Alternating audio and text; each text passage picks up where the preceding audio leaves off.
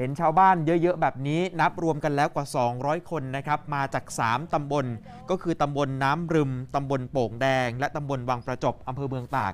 เดินทางไปที่ศาลากลางจังหวัดตาก เพื่อคัดค้านโครงการบริหาร และจัดการขยะมูลฝอย ชุมชน เป็นพลังงานไฟฟ้าระบบปิดของเทศบาลเมืองตากครับ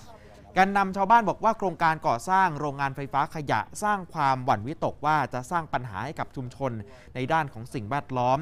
โดยเฉพาะในพื้นที่ตำบลวังประจบ อาจจะได้รับผลกระทบกับแหล่งน้ำเพราะว่าตำบลแห่งนี้เป็นพื้นที่สูง มีแหล่งน้ำขนาดใหญ่ 2 แห่ง ที่ชาวบ้านใช้ประโยชน์ในด้านการเกษตร อุปโภคบริโภค จึงไม่เห็นด้วยและขอให้ยกเลิกโครงการนี้ไป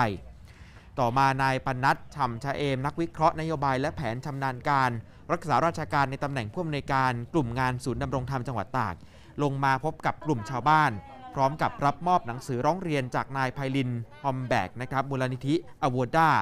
และนางสาวชุลีพรคันธเนศแกนนำภาคประชาชน พร้อมกับระบุว่าทางผู้ราชการจังหวัดตาก ตอนนี้รับทราบเรื่องแล้ว และขอให้ชาวบ้านเสนอข้อมูลปัญหาความเดือดร้อน และข้อเสนอแนะกับทางจังหวัดด้วย